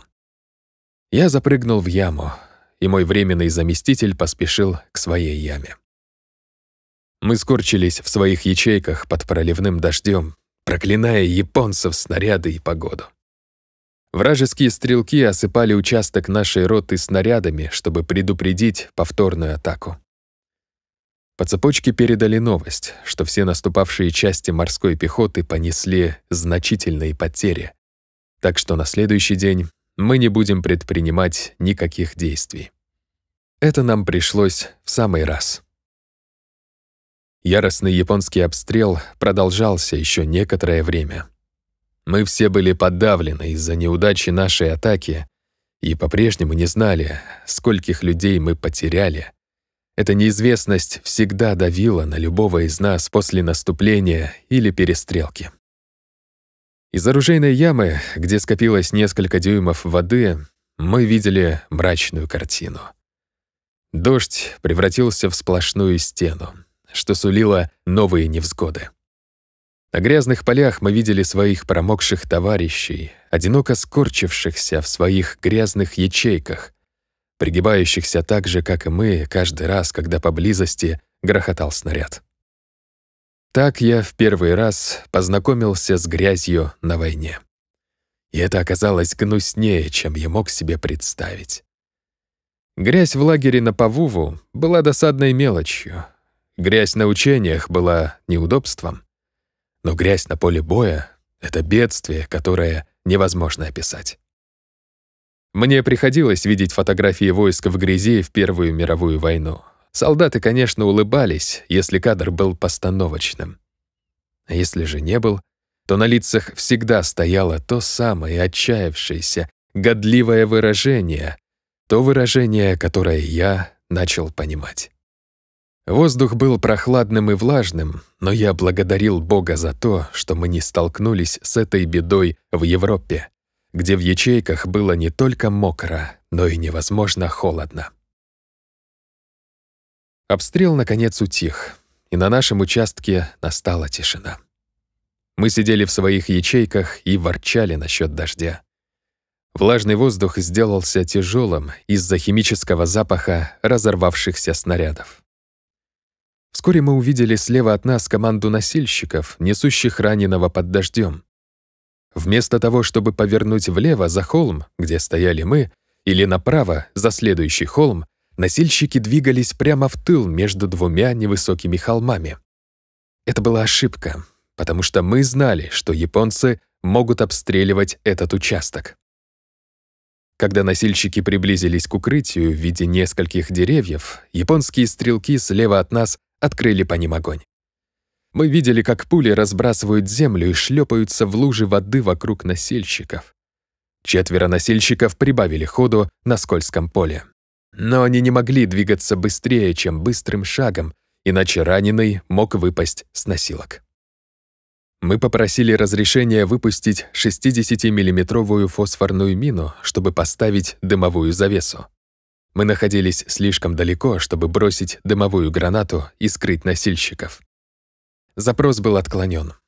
Нам не разрешалось стрелять вдоль линии фронта из-за вероятности поразить свои войска. Так что мы лишь беспомощно наблюдали, как четверо носильщиков пробирались через грязное поле, и пули сыпались вокруг них. Это было одно из тех тяжелых, душераздирающих зрелищ, которые, казалось, стали правилом на войне. Бойцы пытаются спасти раненого товарища. Враги стреляют по ним так часто, как только могут, и остальные совершенно бессильны прийти на помощь. Наблюдать подобную сцену было хуже, чем самому оказаться в опасности. Это было сплошное мучение. Чтобы облегчить свою ношу, четверо носильщиков побросали все свое личное снаряжение, кроме винтовок и карабинов у них на плечах. Каждый из них держал ручку носилок одной рукой, а другую отставил в сторону для равновесия. Четыре головы в касках повисли, словно у вьючных животных под ударами кнута. Промокшая от дождя и забрызганная грязью, их темно-зеленая форма жалко свисала с их тел. Раненый лежал неподвижно на узких брезентовых носилках, вручив свою жизнь борющейся четверке. К нашему горю двое носильщиков, идущих позади, поразила очередь пуль. Они выпустили рукоятки носилок. Их колени подломились, и они упали лицом вперед на грязную землю. Носилки уткнулись в землю. Бойцы вокруг меня издали вздох, который тут же сменился криками радости. Двое морпехов с другого конца носилок бросили их, перевернулись и поставили раненого между собой. Другой рукой каждый из них поддерживал раненого носильщика. Под наше ликование все пятеро, помогая друг другу, доковыляли до укрытия в кустах, а пули по-прежнему взбивали грязь вокруг них. Я испытывал облегчение и восторг из-за их спасения, сравнимые лишь с еще более глубокой ненавистью к японцам. До наступления темноты мы получили информацию, что роте К на следующий день предстоит снова выдвигаться вперед. Дождь постепенно утихал и затем прекратился, а мы вели свои мрачные приготовления. Получая патроны, пайки и воду, я видел, как неподалеку собрались офицеры и унтры нашей роты. Они стояли или сидели на корточках вокруг командира, тихо разговаривая. Старшим был, очевидно, командир нашей роты. Он отдавал приказы и задавал вопросы. Старшие унтер-офицеры и офицеры-ветераны, слушая, стояли с серьезными, иногда озабоченными лицами. Мы, рядовой состав, наблюдали за их знакомыми лицами, пытаясь определить, что для нас готовится.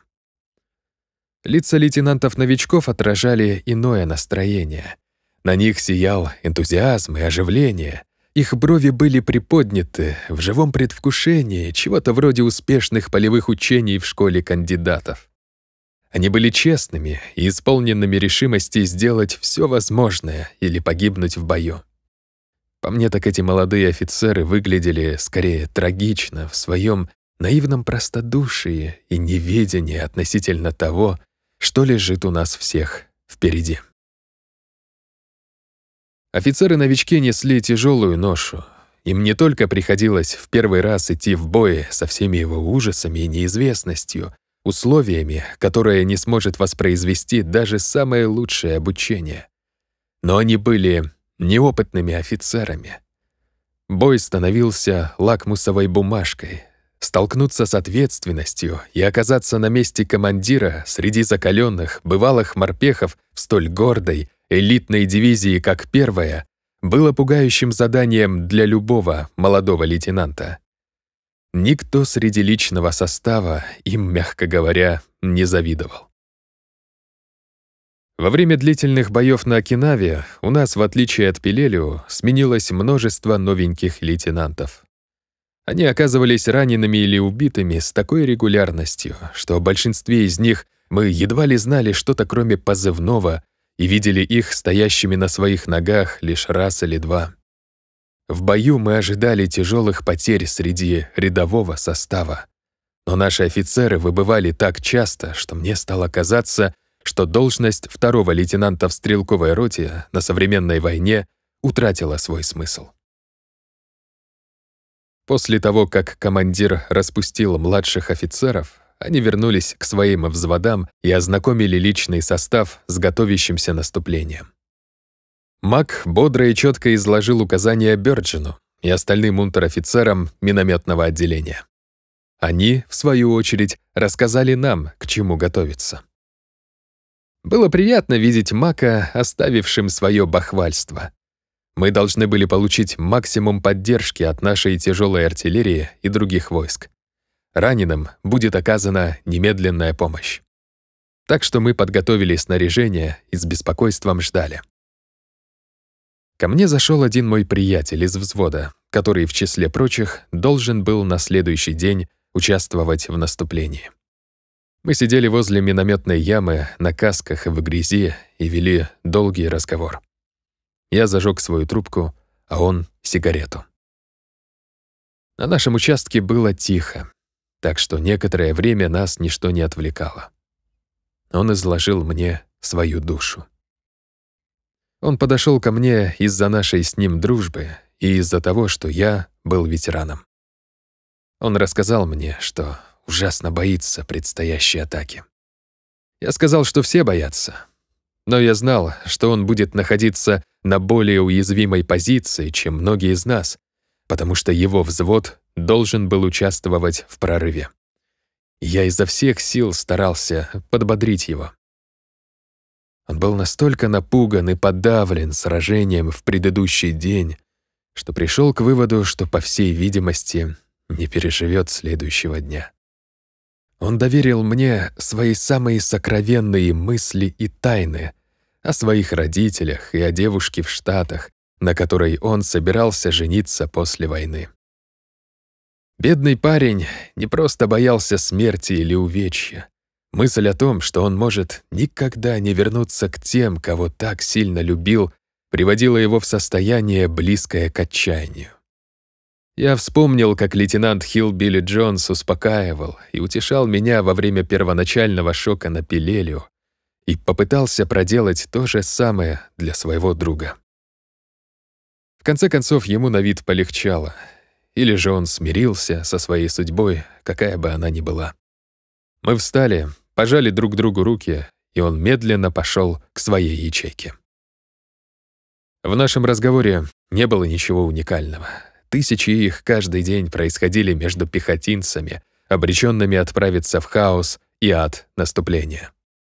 Но это отражает ценность товарищества между бойцами, стоящими лицом к лицу с трудностями и постоянной опасностью. Дружба была единственным утешением, что мог позволить себе военнослужащий. Странными выглядели дела, которыми бойцы занимали себя после того, как оружие и снаряжение были собраны для предстоящего наступления. В учебном лагере нас учили, что на лямках рюкзаков нельзя оставлять никаких висящих концов. Все болтающиеся лямки на рюкзаке морпеха назывались ирландскими подвесками. Почему ирландскими, я так и не понял, и приводили к дисциплинарному взысканию или разносу от сержанта-инструктора. Так что, чисто по привычке, как я полагаю, мы аккуратно сворачивали все свободные концы лямок и приводили рюкзаки в порядок. Затем всегда следовала небольшая чистка и полировка личного оружия с помощью зубной щетки, которую большинство из нас носило с собой для этой цели. Морской пехотинец всегда также мог подтянуть завязки на гетрах. Такими банальностями обреченные бойцы занимали себя как будто то, куда им предстояло направиться, поднявшись из своих ячеек, было строевым смотром, а не вечным забытьем. Наше наступление 3 мая оказалось отчасти успешным. В предшествующий день нашим минометам удалось подавить японские тяжелые пулеметы, что позволило роте продвинуться до следующей гряды возвышенностей. Но мы не смогли удержать холмы. Огонь вражеских тяжелых пулеметов и минометов заставил нас отступить примерно на 100 метров. Таким образом, мы отвоевали около 300 метров за весь день. Мы вышли на спокойный участок позади линии фронта задолго до темноты. Прошла новость, что из-за тяжелых потерь в боях за два предыдущих дня рота К на некоторое время перейдет в батальонный резерв. Мы окопались вокруг батальонного медпункта для его обороны. Наши раненые все еще возвращались с дневного боя, когда мы занимали позиции. К моей большой радости я увидел своего друга, с которым вел разговор днем ранее. Он имел довольный и торжествующий вид и сердечно пожал мне руку, когда команда носильщиков несла его мимо с кровавым бинтом на ноге. Господь или случай, в зависимости от веры, спас его жизнь и облегчил его ношу дальнейших страхов и ужаса боев, наградив его ранением на миллион долларов. Он исполнил свой долг, и война для него закончилась. Он испытывал боль, но он был счастливчиком. Многим из нас не так повезло за последние пару дней. Контратака. Мы устроились в своих ячейках на ночь, чувствуя себя более свободно вдали от линии фронта и на спокойном участке. Мой сосед по ячейке нес первую вахту, так что я провалился в сон, уверенный, что мы проведем более или менее спокойную ночь. Я проспал недолго, как он разбудил меня со словами «Квалда, просыпайся, нипы что-то затевают». Испуганный, я проснулся и инстинктивно вытащил из кобуры свой 45-й. Я слышал резкий приказ Унтера. «Будьте готовы к делу, парни! Стопроцентная готовность!» Я слышал частую артиллерийскую стрельбу на позициях. Звук, казалось, доносился в основном с участка за левым флангом нашей дивизии, где стояли армейские части. Стрельба прямо впереди тоже усиливалась. Наши снаряды свистели над головой в огромном количестве. Это не был обычный беспокоящий огонь против японцев. Для этого снарядов летело слишком много. «В чем дело?» — спросил я обеспокоенно. «Без понятия», — ответил мой товарищ. «Но на позициях творится какая-то чертовщина. Наверное, джапы устроили контратаку.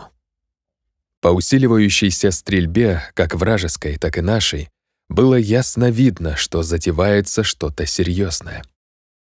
Пока мы ждали в своих ячейках, надеясь получить новости о происходящем, плотный пулеметный и минометный огонь внезапно загрохотал на некотором расстоянии справа от нас, позади того места, где позиции первого полка морской пехоты выходили к морю. С нашего невысокого бугорка мы видели потоки американских пулеметных трассеров, летящих прямо в море в мрачном свете 60-миллиметровых осветительных мин. Это могло означать лишь одно. Противник проводил морской десант, пытаясь высадиться на берег в тылу правого крыла первого полка морской пехоты, который стоял на правом фланге первой дивизии. «Должно быть, жапы провели встречный десант. Первый полк задал им жару», — сказал кто-то. Смогут ли наши товарищи из первого полка остановить атаку? Этот вопрос вертелся в голове у каждого. Но один из бойцов сказал уверенно, понизив голос. «Готов спорить, первый полк надерет им задницы». Мы надеялись, что он окажется прав. Из того, что мы знали, было ясно, что если японцы высадятся на берег на нашем правом фланге и проведут сильные контратаки слева из фронта, то вся наша дивизия может оказаться отрезанной.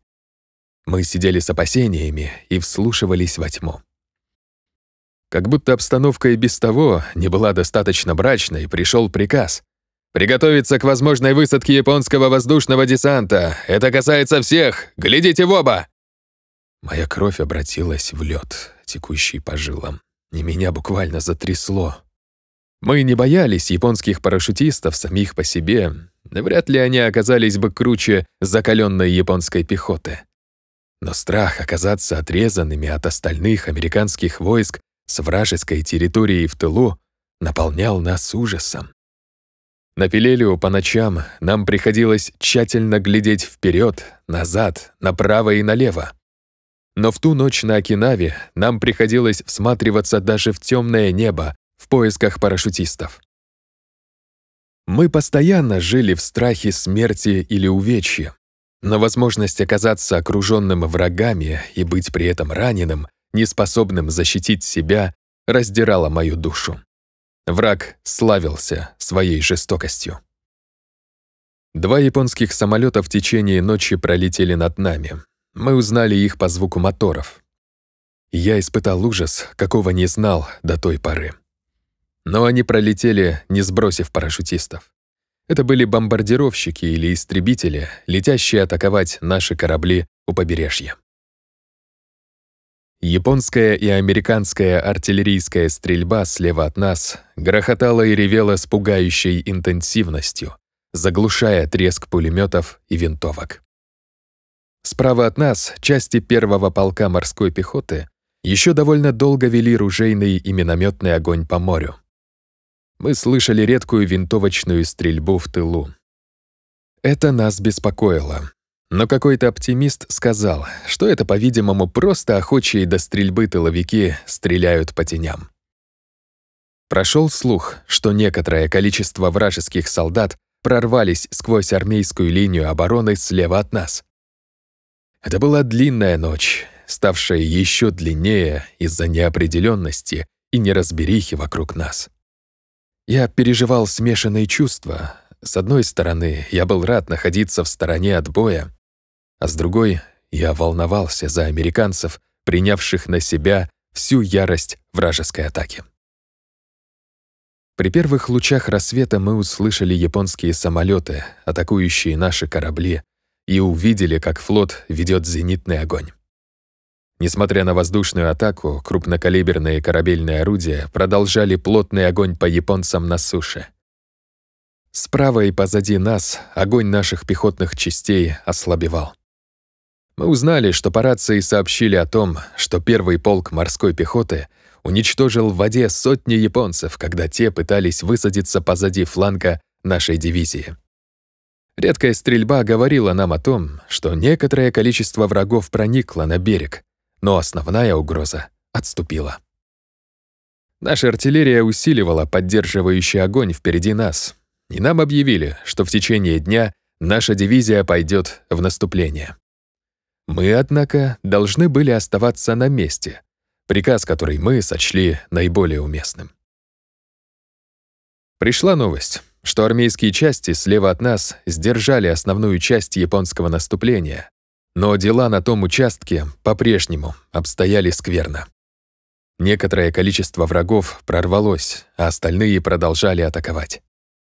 Пока 3-5 стоял в резерве, первая дивизия морской пехоты начала наступление по фронту, и мы слышали, что она встретила ожесточенное сопротивление. Мы получили приказ вести наблюдение в поисках врагов, которые могли проскользнуть вокруг фланга дивизии ночью, но их не оказалось. В это время противник провел массированную воздушную атаку против нашего флота. Мы видели, как камикадзе прорвался через плотную завесу зенитного огня и спикировал на крейсер. Огромное облако белого дыма поднялось на сотни метров в воздух. Вскоре мы узнали, что это был крейсер «Бирмингем», и он понес значительный ущерб и потери в составе экипажа. Глава 11. Снаряды и взрывы.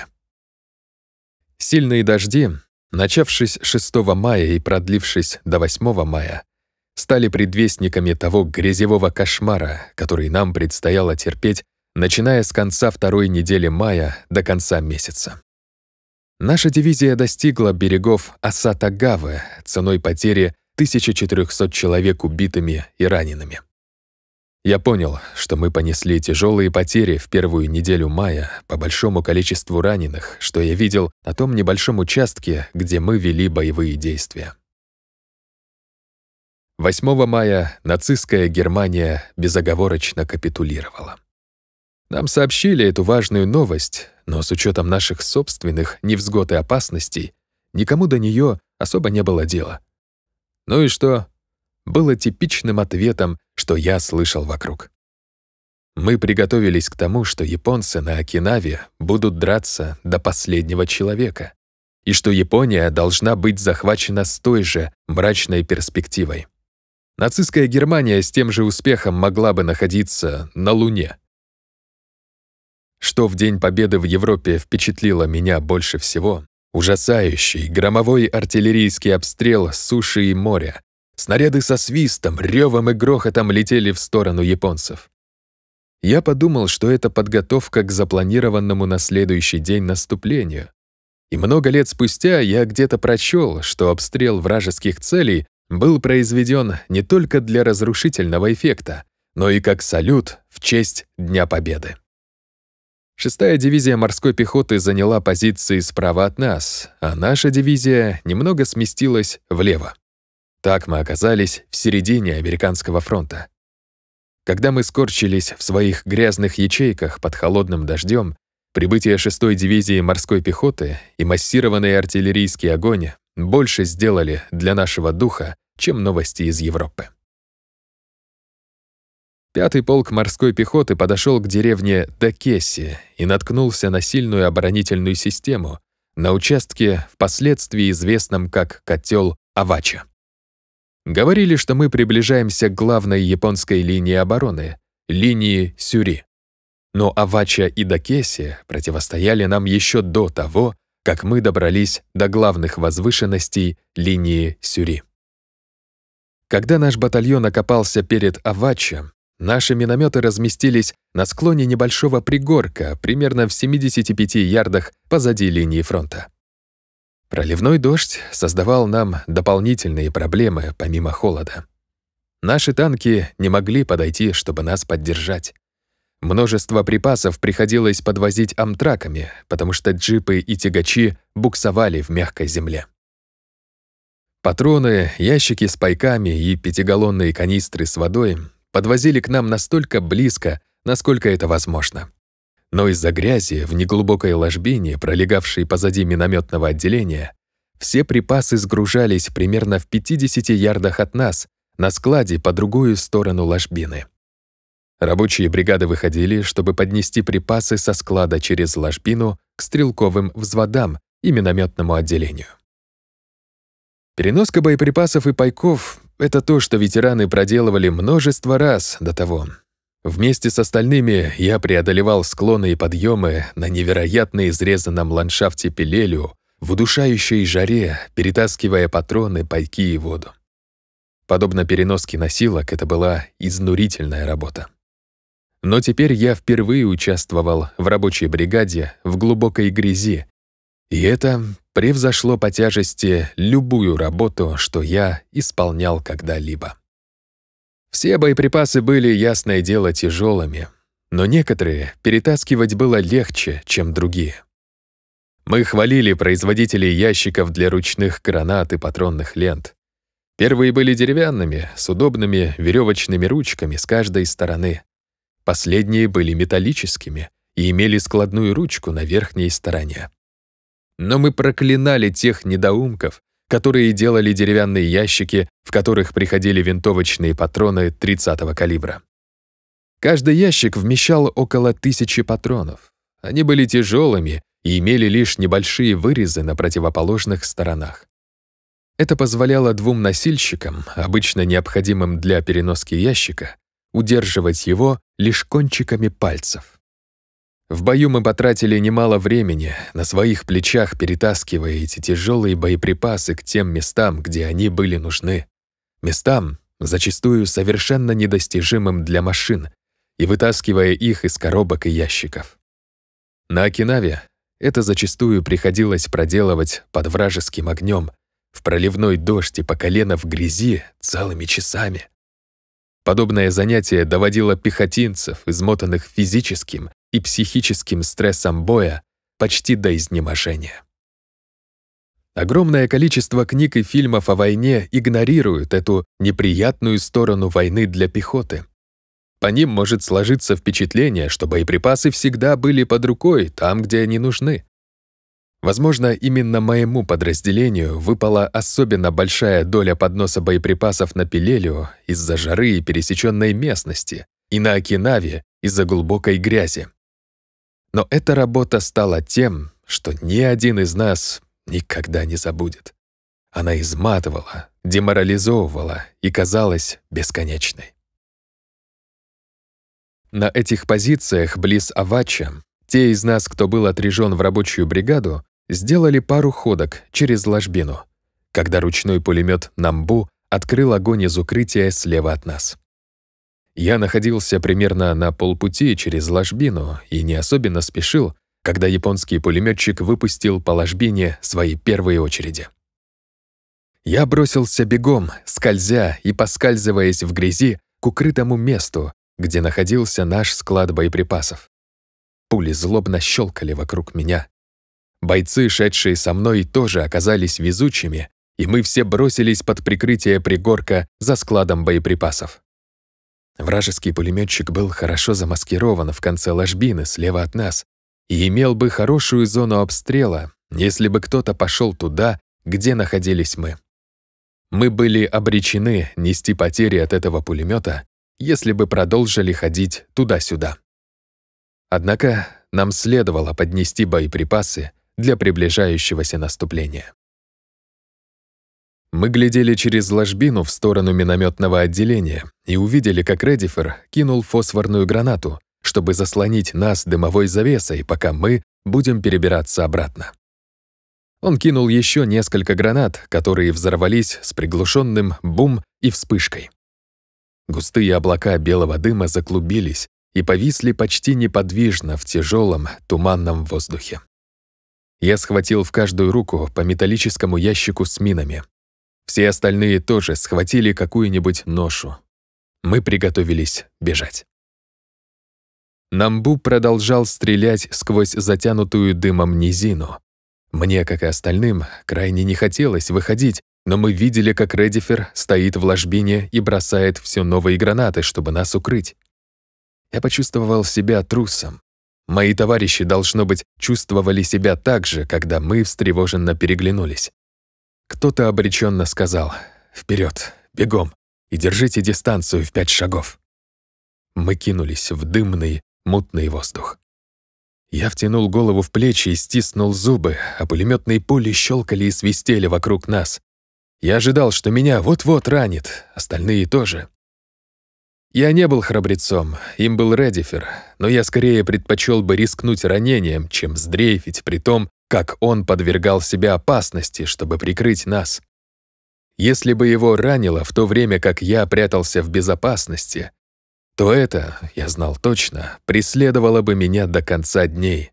Ну, то есть, если бы мне удалось долго прожить, что с каждым днем становилось все менее вероятным. Дым скрыл от нас пулеметчика, но он продолжал выпускать по ложбине прерывистые очереди, чтобы не дать нам пройти. Мы промчались за пригорок и побросали тяжелые ящики в грязь.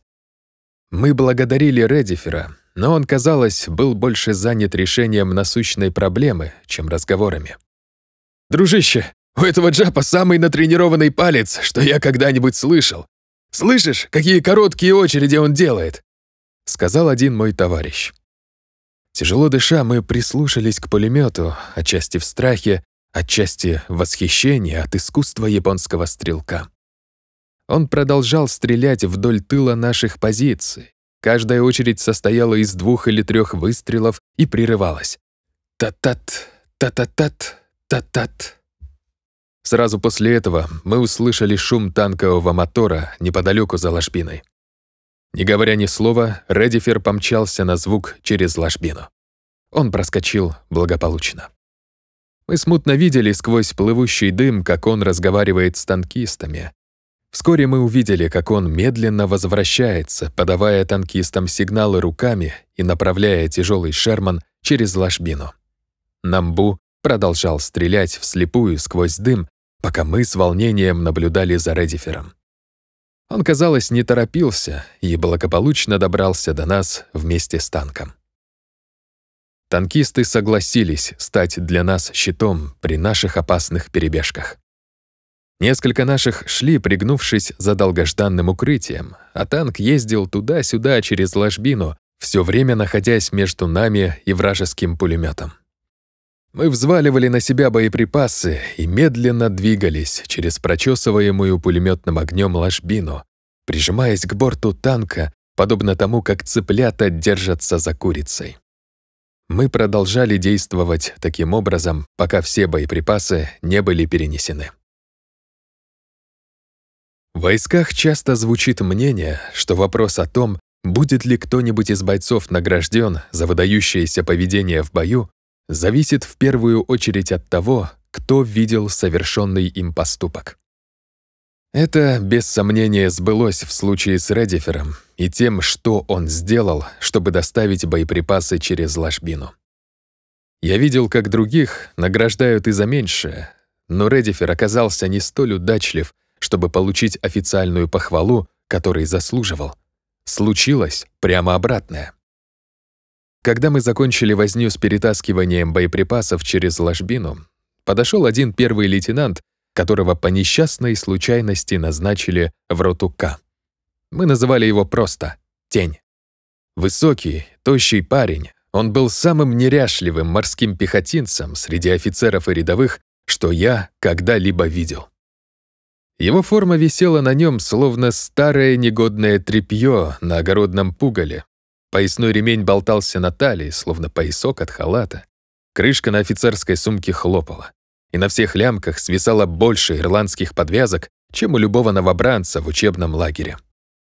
Я никогда не видел, чтобы тень носил гетры. Штаны у него были неровно закатаны на тощих лодыжках. Он не подтягивал камуфляжный чехол на каске, как это делали все морпехи, и тот свисал на бок, словно какой-то огромный колпак. По какой-то причине он часто носил свою каску под левой рукой, прижатой к боку, словно футбольный мяч. На голову он надевал зеленое камуфляжное кепи, которое большинство из нас носили под каской. Но его кепи было разорвано поперек верхушки, так что темные волосы торчали из дыры, словно солома сквозь шляпу чучела. Характер у тени был еще хуже, чем внешний вид. Раздражительный, неуравновешенный, в высшей степени возбудимый, он ругался на опытных бойцов-ветеранов хуже, чем строевые инструкторы в учебном лагере. Если он был в чем-то недоволен морпехом, то не делал ему выговор, как остальные офицеры. У него начинался припадок. Он срывал с головы кепи, швырял его на землю, топтал его ногами и проклинал всех, кого видел. Опытному сержанту, который сопровождал тень, приходилось стоять во время этих вспышек гнева, раздираемым желанием отчитать нас, если он чувствовал это своим долгом, и смущенным неодобрением из-за ребяческого поведения офицера. Сказать по правде, я не знаю, насколько грамотным офицером считался Тень у своего начальства. Излишне пояснять, что его не особенно уважали среди рядового состава, просто из-за недостатка самообладания. Но он был смелым, отдаю ему должное.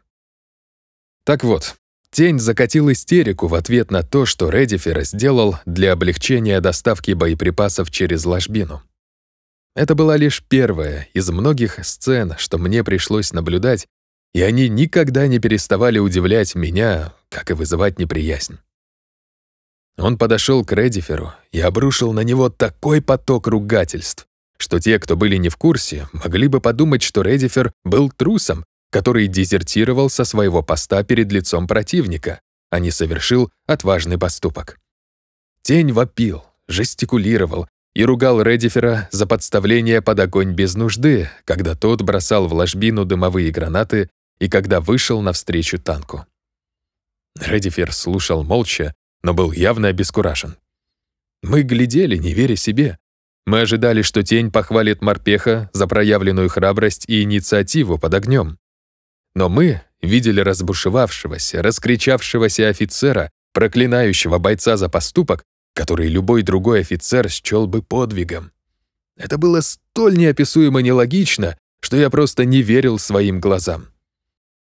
Наконец, выплеснув свою ярость на морпеха, который по праву заслуживал похвалы, тень зашагал прочь, брюзжа и ругаясь на личную и коллективную тупость рядового состава. Редифер ничего не сказал. Он просто смотрел вдаль. Мы, однако, долго ворчали. По мере приближения полудня 9 мая все пребывали в напряжении из-за предстоящего наступления. Нам выдали боеприпасы, бойцы собрали свое снаряжение и занимались последними приготовлениями. Подтягивали патронташи, лямки от рюкзаков, гетры и винтовочные ремни. Все эти мелкие и бессмысленные жесты отчаяния, снимающие напряжение перед надвигающимся кошмаром. Мы заранее пристреляли миномет по намеченным целям и сложили разрывные и фосфорные мины подальше от грязи на куски ящиков, чтобы они были под рукой. Земля достаточно высохла, чтобы наши танки могли маневрировать. Несколько из них стояли с моторами на холостых оборотах, с открытыми люками, и танкисты ждали. Ждали, как и все остальные. Война — это в первую очередь ожидание. Солдаты сидели вокруг, молча, с потухшими лицами. В роту поступило несколько новичков, чтобы восполнить наши недавние потери. Эти новички выглядели еще более растерянными, чем остальные. Тяжелые орудия периодически стреляли все утро, но потом замолчали. Было не особенно шумно, пока мы ждали начала артиллерийской подготовки. Затем артподготовка началась. Тяжелые снаряды засвистели над головой по мере того, как каждая батарея и каждая корабельная башня начала обстреливать японскую оборону Авача впереди нас. Поначалу мы могли опознать каждый тип снаряда. 75 миллиметровые, 105 и 155, а также корабельные пятидюймовки, когда они включились в стальной шторм. Мы видели в небе наши самолеты, корсары и пикирующие бомбардировщики. Начался авианалет. Самолеты пикировали, выпускали ракеты, сбрасывали бомбы и обстреливали участок впереди нас. Взрывы гудели и громыхали до тех пор, пока уши самых опытных ветеранов не потеряли способность слышать. Начали падать вражеские снаряды и мины. Японцы пытались сорвать наступление. Новички выглядели совершенно ошалевшими посреди хаоса. Я вспоминал свой первый день в бою и сочувствовал им. Уже сама подготовительная бомбардировка была зрелищем пугающим и устрашающим даже для ветеранов, что уж говорить о новичках. Вскоре пришел приказ «Минометное отделение приготовиться!» Мы взяли азимут у Бёрджина, который стоял на наблюдательном посту, чтобы замечать цели и направлять наш огонь. Несмотря на то, что наши 60-миллиметровые мины были маленькими в сравнении с огромными снарядами, проносящимися над головой, мы могли стрелять вплотную к фронту роты. Куда более крупные минометы и артиллерия не могли выпускать снаряды, не подвергая опасности наш личный состав. Близость накладывала на нас двойную ответственность, умело стрелять и не допускать недолетов. Мы выпустили лишь несколько мин, когда Снафу принялся проклинать грязь. С каждым выстрелом отдача вдавливала плиту миномета в мягкую почву орудийной ямы. И у нас возникали сложности с настройкой ватерпасов, чтобы восстановить верный прицел по прицельным вешкам. Завершив первую огневую задачу, мы быстро переставили миномет немного в бок на более плотную почву и перенацелили его. На Пелелию нам зачастую приходилось держать плиту и сошки на коралловой скале, чтобы они при отдаче не отпрыгивали, сбивая прицел миномета на перелет. На мягкой, влажной почве Окинавы происходило ровно обратное. Отдача с каждой выпущенной миной вдавливала плиту миномета в землю. Эта проблема усугубилась по мере того, как в течение мая усиливались дожди, и земля становилась все мягче и мягче. Пришел приказ прекратить огонь и быть наготове. Авианалет закончился. Артиллерия и корабельное орудие умолкли. Танки и наши стрелки выдвигались в составе танково-пехотных групп. Наступление 3.5 и 3.7 шло гладко первые пару сотен метров, а затем плотный огонь японцев с левого фланга остановил атаку. С нашего наблюдательного поста нам приказали выпустить дымовые мины, потому что с левого фланга по нашим войскам велся плотный огонь. Мы быстро выпустили фосфорные мины, чтобы заслонить бойцов от вражеских наблюдателей. Наши позиции приняли на себя немалую долю японского контрбатарейного огня из 90-миллиметровых минометов.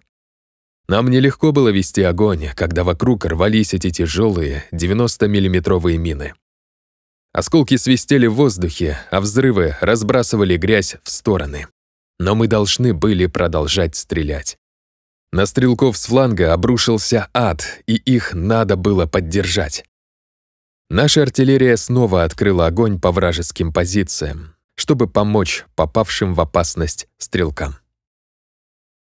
Мы всегда могли понять, наносим ли мы японцам урон своими минометами по количеству контрбатарейного, минометного и артиллерийского огня, которые они направляли на нас. Если мы не наносили им ущерба, они нас обычно игнорировали, кроме тех случаев, когда считали, что смогут нанести нам тяжелые потери. Если японский контрбатарейный огонь служил верным индикатором наносимого нами урона, то в ходе кампании на Окинаве мы были удовлетворительно эффективны. Во время наступления на Авача 9 мая рота К понесла тяжелые потери. Обычное зрелище окровавленных, полубессознательных, раненых людей, отупевших от шока, переносимых или идущих к медпункту в тыл. Также были и погибшие, необычные взволнованные вопросы о судьбе друзей. Мы все обрадовались, когда пришла новость о том, что 3-5 переходит в резерв 7-го полка морской пехоты. Так и случилось через пару дней. Седьмой полк сражался за хребет Дакеси справа от нас. Битва за Авача кипела слева от нас. Мы окопались на ночь во влажной земле. Наши минометы не устанавливались. Нам предстояло действовать как стрелкам и наблюдать за открытым, пологим склоном долины. Чуть выше нас два других минометных отделения окопались двумя параллельными линиями в 20 футах одна от другой и перпендикулярно вершине возвышенности. Нам выдали воду и пайки и раздали почту. Почта обычно хорошо прибавляла настроение, но не в этот раз. Моросил нескончаемый холодный дождь. Мы все устали, и мой боевой дух был не на высоте. Я сидел на каске и читал письмо от своих родителей. Я узнал, что Дикон, мой любимый спаниель, попал под машину, сумел приползти домой и умер у моего отца на руках. Дикон был моим постоянным компаньоном в течение нескольких дней перед тем, как я покинул дом и ушел в колледж. Там, под звуки плотного обстрела, посреди страданий и смерти тысяч людей, крупные слезы катились по моему лицу от того, что Дикон умер.